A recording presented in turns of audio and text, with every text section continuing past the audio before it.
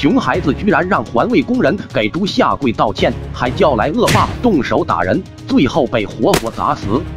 四川凤凰街头的环卫工大川正卖力地清扫着地上的落叶和各种垃圾。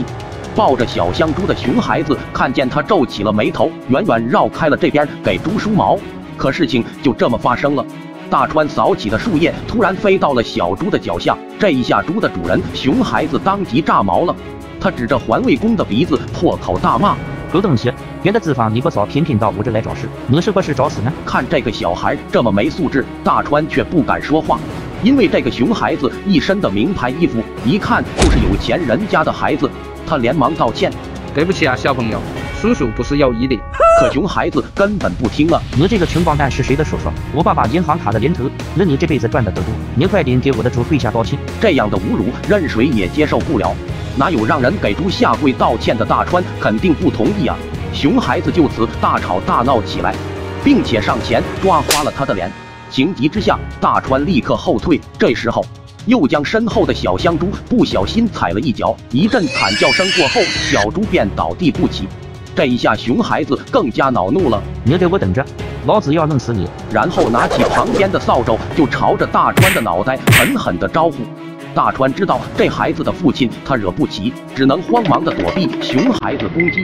而熊孩子眼见追不上对方，就疯狂地打砸一旁的垃圾车。看到这一幕，大川不得不上前劝说，因为如果车被砸坏了，自己肯定会被索要巨额的赔偿呀，说不定工作也会丢了。想来想去，大川还是慢慢走上前，想着用严厉的语气吓唬一下他。小朋友，把扫帚给我放下，我会赔你的小将军，不然我把你屁股打开花。熊孩子一听，哟呵。就你一个社会的败类，都穷得扫大街了，你赔得起吗？而且还想打我？看我打电话让我爸爸来收拾你。说着呢，便打起了电话。大川本想逃开，可又怕公司找自己，无奈之下拿了把锤子防身。没过一会，附近居然冲出一个身强体壮的大汉。刚见到环卫工，他二话没说，上前便打人。就是你个渣渣，还敢打我的宝贝儿子！大川被打得不断惨叫，求对方饶过自己。然而，熊孩子就站在一边，恶狠狠地大笑着：“给我打死他，给我的小香猪偿命！”几分钟之后，大川被打得奄奄一息。这人太狠了，真把自己往死里打！被逼无奈之下，大川掏出兜里的锤子，朝着一个打人者的脑袋砸了上去。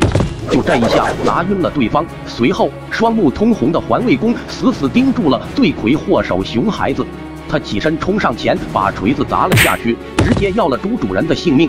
朱主任毫无人性，对扫地老人无理还动手，他的死完全是罪有应得。那对于大川的做法，凭目前的各位认为，他能算是正当防卫吗？咱们评论区见吧。